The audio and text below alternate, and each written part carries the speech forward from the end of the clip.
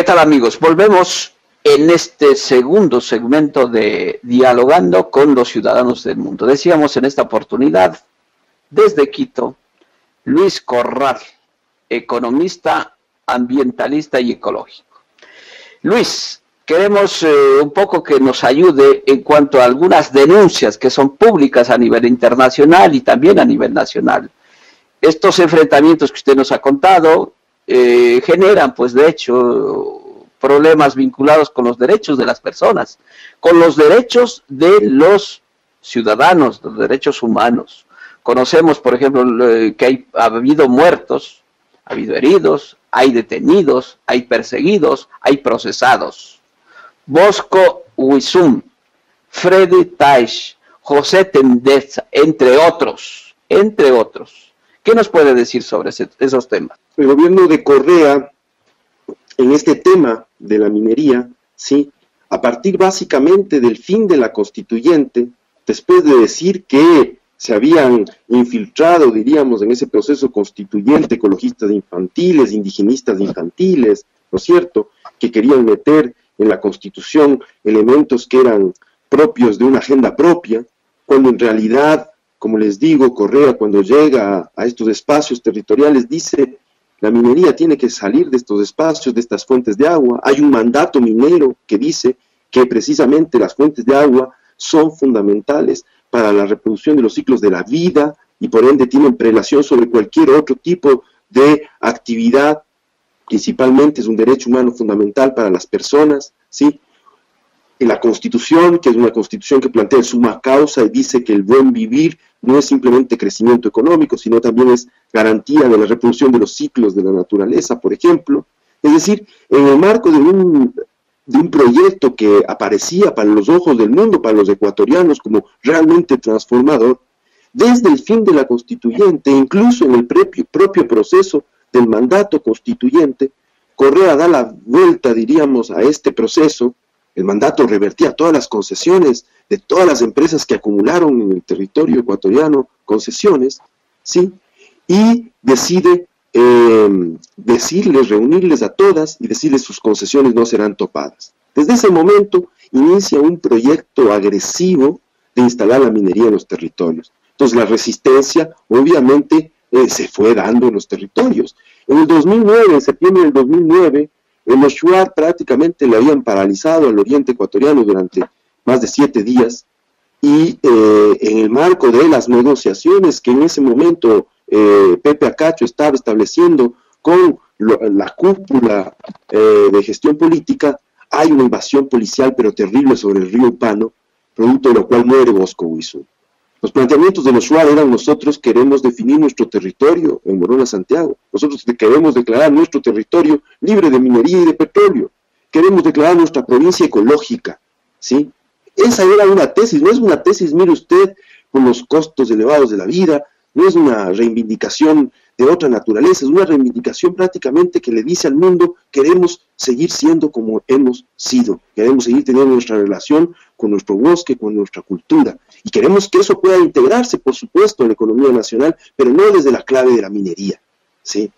Muere Bosco Huizum en un enfrentamiento con la policía, a partir de lo cual al primer presidente de la nacionalidad Shuar, electo luego de la declaratoria de país plurinacionalidad, se le declara ahora últimamente eh, culpable de sabotaje y terrorismo por haber eh, liderado esa resistencia. En, plena, en pleno país de la, de la plurinacionalidad, al primer presidente de la nacionalidad Shuar, luego de ese estatus, ¿sí? se declara terrorista, imagínese usted, ¿sí? Y posteriormente, claro, la resistencia ha continuado, y en el 2013 hay dos nuevos muertos, dos nuevos asesinatos, ¿sí? En territorio Shuar, que definitivamente ponen en evidencia cómo el gobierno nacional está haciendo poco o incluso está haciendo acciones directas para eliminar de obstáculos la implementación de un megaproyecto minero que, sobre el cual deberíamos tal vez conversar un poco más en detalle, tal vez en alguna otra oportunidad, pero es realmente compleja, diríamos, la, dimensión del proyecto, es una dimensión eh, muy enorme, ¿no? Que incluye energía hidroeléctrica, que incluye la construcción de seis o siete mega eh, hidroeléctricas, se está hablando de 6.000 megavatios, por ejemplo, Oscar, esta es una primicia, 6.000 megavatios hasta 8.000 megavatios de energía en el río Santiago y en el río Zamora. ¿Para qué tanta energía? Eso es mucho más que el doble que Toachi Pilatón, que, que todas las represas gigantes juntas. Que ¿Y cuáles empresas serían así Que Sopladora, que Paute. Se están empezando a ejecutar y se están empezando a ejecutar sin los procesos de consulta libre, previa informada. Es una serie de vulneración de derechos al pueblo indígena. El, proyecto es enorme, ¿sí? El proyecto no es solamente el proyecto Mirador, que ya en la época actual está generando gravísimos problemas ambientales, sociales y económicos a la población de Tundaime, ¿sí? El proyecto no es solo Mirador, son más de 12 o 15 proyectos que se pensarían desarrollar a gran escala en la cordillera del Cóndor.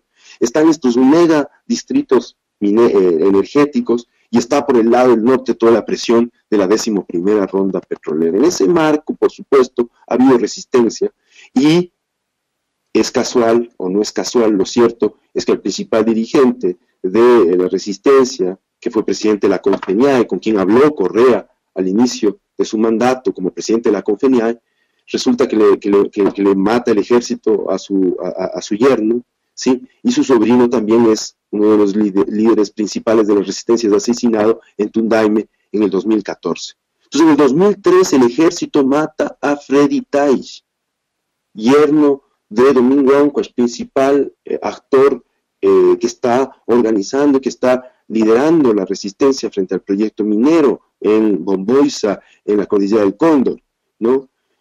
Noviembre del 2013. Solo ese pequeño episodio podría significar que podamos hablar 15, 20 minutos. Solo el asesinato de Freddy Tais por parte del ejército ecuatoriano en medio del territorio Shuar, en la cordillera del Cóndor, a 20 kilómetros de el primer yacimiento minero eh, que a gran escala pretende iniciar el país, con capitales chinos, ¿no?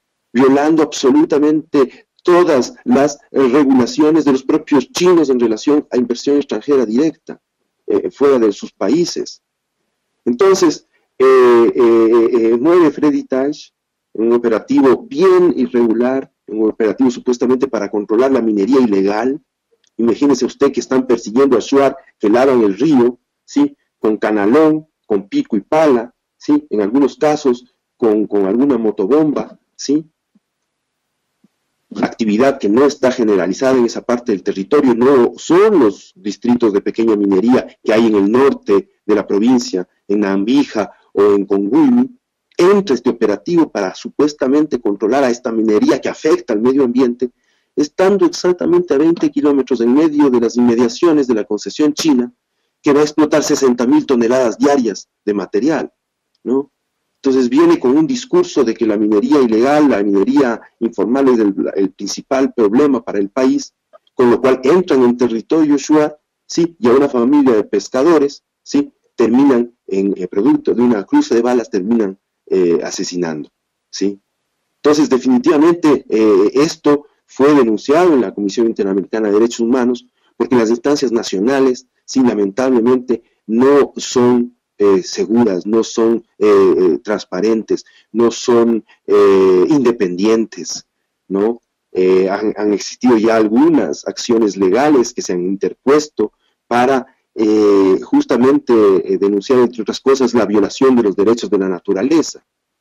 Ahora bien, sí, esta acción de protección pasó la primera instancia, la segunda instancia, ni siquiera fueron leídos los expedientes en las respuestas de alegato de los jueces respectivos, ni siquiera se, se, nota que ni siquiera han tenido eh, la delicadeza de leer los expedientes y remitirse a los argumentos ¿sí? expuestos. Por eso, esta acción legal, esta acción de protección, que no tuvo eco en el marco de la justicia ecuatoriana, está ahorita siendo denunciada precisamente en la Corte Interamericana de Derechos Humanos por vicios de procedimiento. Estamos exigiendo que el proyecto Mirador se suspenda, ¿sí? que es el primero de una cadena larga de despojos que se van a dar en la cordillera del Cóndor. ¿Quién firma esta demanda? Es nada más y nada menos que José Tendetza, ¿sí? Ah. otro de los compañeros que en noviembre de 2014 muere asesinado. ¿sí? Inicialmente hay un procedimiento, pero totalmente irregular por parte de policía, de fiscalía, en el tratamiento del caso de la muerte de José Tendetza, ocultan informes de, autopsia, ocultan el cuerpo del muerto a los familiares. ¿sí? Ahora desde hace algún tiempo se sabe quiénes fueron los responsables, pero Fiscalía se ha quedado en silencio, muda. ¿sí? No hay respuesta frente a quién asesinó a José Tendetza a pesar de que todos los indicios señalan a los responsables. En el caso de Freddy Taish y José Tendetza, no hay detenidos, no hay procesados, no hay personas a las cuales de alguna manera se diga estos son o presumen ser los responsables. No hay, no hay, no hay. Las investigaciones están paralizadas para el caso de Freddy Taish, es un tema supuestamente de seguridad nacional. Lo cierto es que no hay una investigación seria sobre el proceso del el crimen eh, de eh, Freddy Taish. El proceso de investigación de José Tendetz avanzado. Por eso sabemos extraoficialmente que hay grandes sospechas sobre responsables crimen, del crimen de José Tendetza, pero también sabemos que hay alguna fuerza que está operando que evita que eh, Fiscalía eh, acelere, diríamos, eh, su proceso de investigación y sus conclusiones sobre el caso. En el caso de Freddy Taj, un militar fue el que disparó, ¿no? Eh, hay testigos que dan cuenta de ese encuentro que hubo entre Freddy Taj y, el militar, ¿sí? Entonces este, este, este es, un escenario en el que se prefiguraría ya un crimen de Estado, ¿no? Contra un poblador shuar que en medio de su territorio fue invadido por una patrulla eh, militar que pretendía supuestamente controlar la minería ilegal, ¿no? Ese es el estado de eh, vulneración de los derechos, sí, ciudadanos del mundo, en los que se encuentra una de las nacionalidades más importantes del país, la más importante, la segunda más importante en términos de población después de la quichua, ¿no? La nacionalidad shuar eh, ha, sufrido a lo largo de estos dos últimos siglos un embate colonizador por parte del Estado, por parte de la Iglesia, por parte de la, de la, de la evangelización, por parte de la colonización de los años 60, de los años 70, fueron prácticamente despojados de sus mejores tierras, viven ahora más alejados en las cordilleras, y resulta que ahora de las cordilleras les quieren votar a patadas, ¿sí? Resulta que de las cordilleras ellos son los invasores, ¿sí? Y no las empresas chinas que están ocupando ese territorio.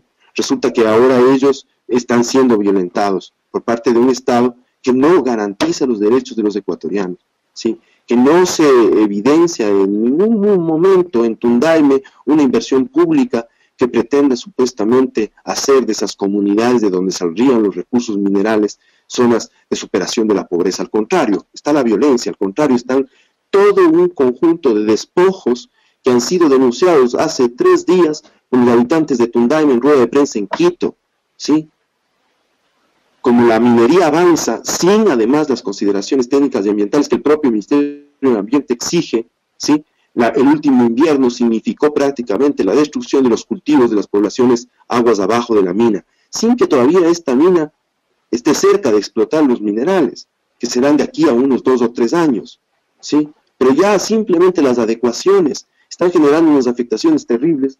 Cuando el presidente Correa decía que el agua va a ser eh, devuelta a su cauce natural en mejores condiciones de cómo se la encontró, cuando el presidente Correa, casi como, como Public Relation eh, Office, ¿no? como un oficial de relaciones públicas de las empresas mineras, decía que eh, la minería no tiene conflictos con el agua, que la tecnología de punta es eh, lo, que va a permitir precisamente resolver este dilema, ¿no? que para él no existía. Nosotros decimos hay un dilema y hay un debate nacional que tiene que darse, y que no puede ser que se atropellen de esa manera los derechos de las poblaciones eh, campesinas indígenas de nuestro país. Luis, Luis, Luis, a ver, eh, pero no hay ninguna cosa que podamos decir que es positiva de todo este proyecto mega minero que la Alianza País y que en concreto Correa viene señalando y cree que es la solución de algunos problemas desde su punto de vista. El problema es que los irrisorios eh, recursos minerales, mire usted que la negociación, por ejemplo, con King Ross, ¿sí?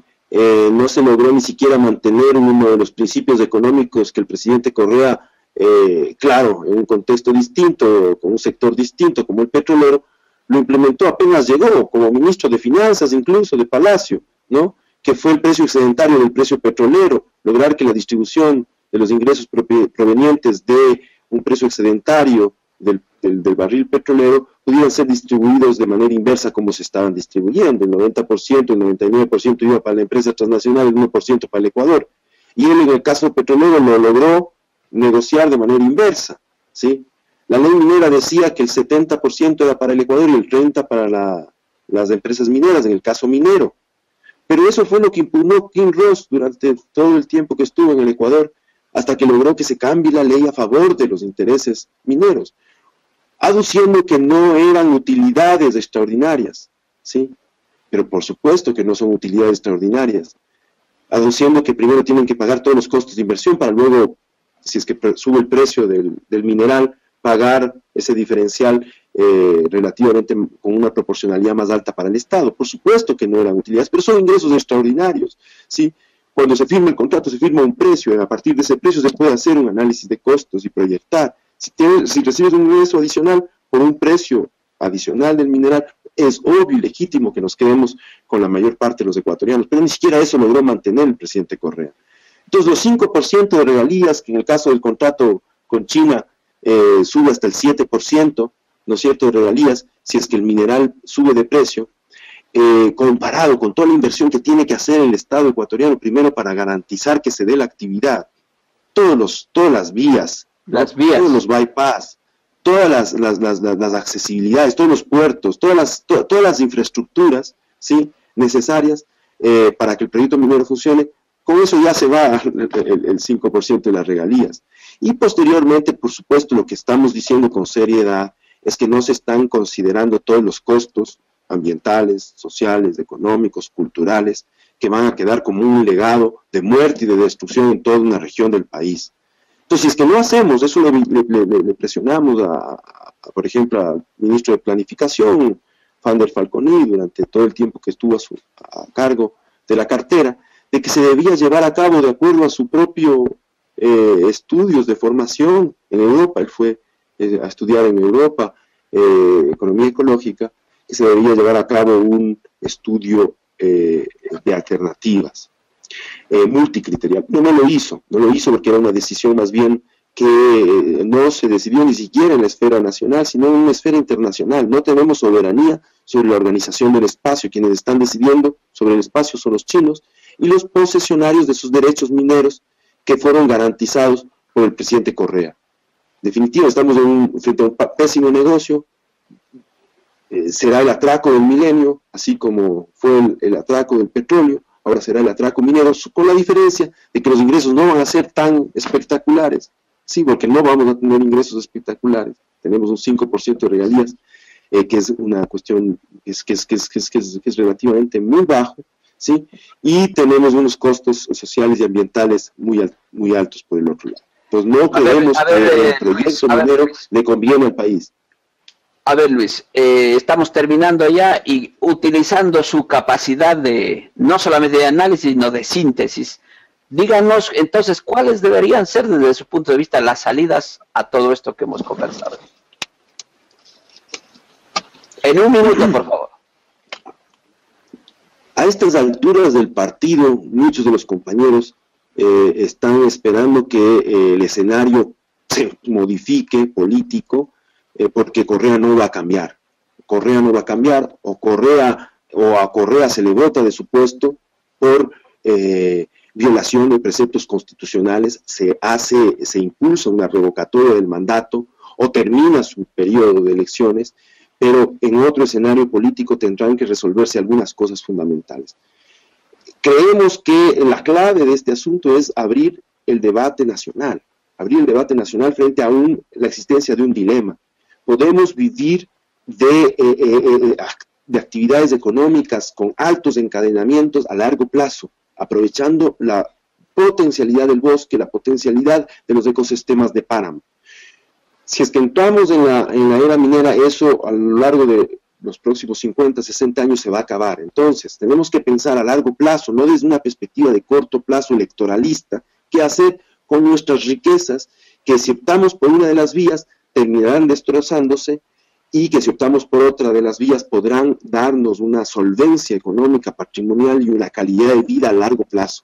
¿sí? Creemos que ese debate central es el que tiene que eh, generarse en la sociedad ecuatoriana, ¿sí? A nivel de lo que significa la orientación del desarrollo. Y por otro lado, por supuesto, tenemos que avanzar hacia el reconocimiento pleno del Estado plurinacional. Si es que estamos frente a un Estado plurinacional que ha reconocido la existencia de, esta, de, pueblos con lengua, con historia, con densidad cultural, Cultura. dentro mismo territorio, el estatus que deben tener esas poblaciones en términos de la organización del espacio es mucho más fuerte pues que el de simplemente llegar y eh, apropiarse de sus recursos, ni siquiera llevando a cabo lo que dice la propia Constitución en reconocimiento de esos derechos colectivos, que es la consulta libre, previa e informada. Ni siquiera eso ha hecho el gobierno ecuatoriano, ni siquiera lo mínimo que lo plantea la propia Constitución, que es lo mínimo que ya decía la Constitución del 98, ¿sí? pero un Estado plurinacional, lo que decidan, lo que definan esos pueblos de acuerdo a sus usos y costumbres será fundamental. Entonces tendrá que establecerse unas mesas de negociación dentro de otro tipo de Estado ¿sí?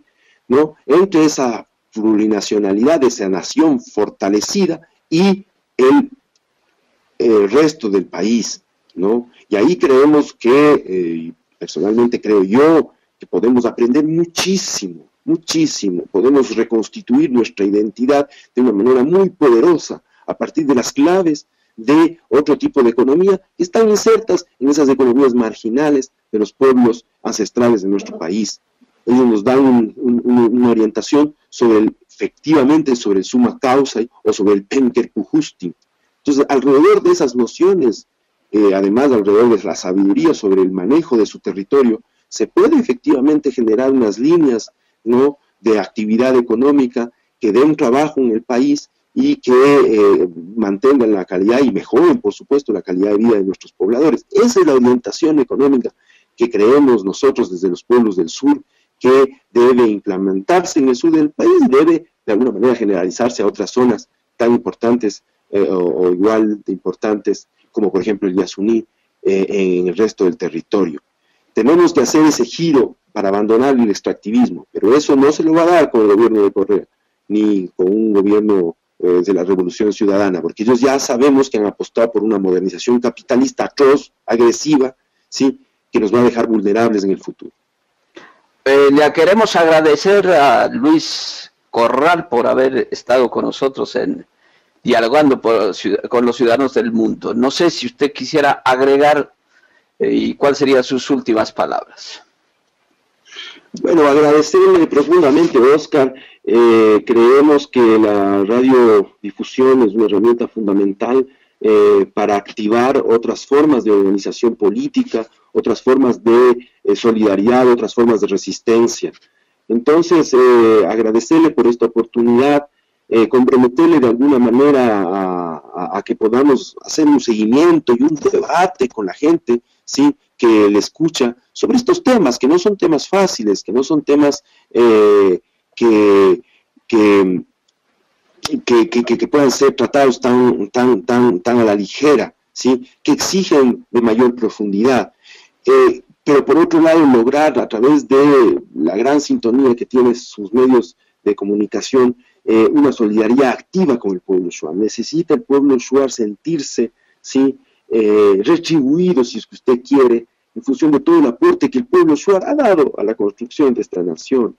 Pueblo shuar, lamentablemente, incluso a costa de su propia integridad como pueblo y como nación, participaron en la guerra del Cenepa, enfrentándose a sus propios hermanos, el Shuar del otro lado de la cordillera en esa guerra, ¿sí? Y lo hicieron por el país, ¿sí?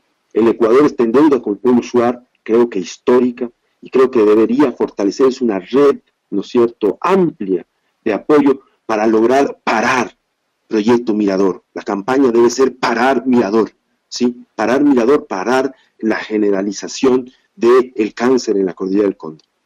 Ojalá podamos articular a través de varias entrevistas y a través del diálogo directo con los, ciudadanos del mundo una plataforma de esta naturaleza.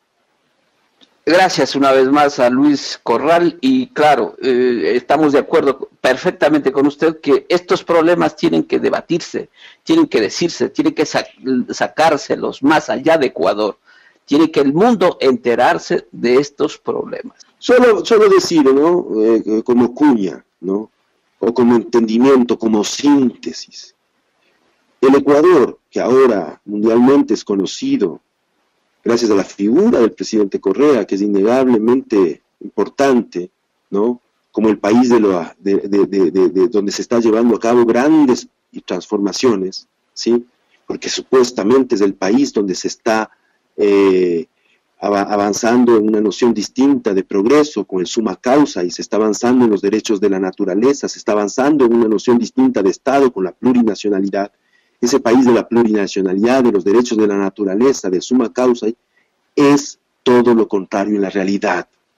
El gobierno de Rafael Correa está violando el Estado plurinacional, está violando los derechos de la naturaleza y está violando el suma causa.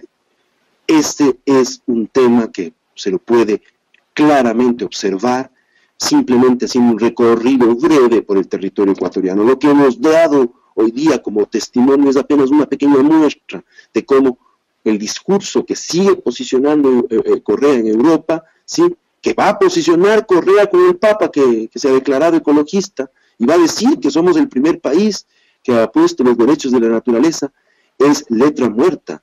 Es letra muerta porque en la práctica se está haciendo todo lo contrario. Eso nada más para finalizar, Oscar. Una vez más, gracias. Muchas gracias. Y a ustedes les esperamos la próxima semana en otro programa más de Dialogando con los Ciudadanos del Mundo. Hasta la próxima.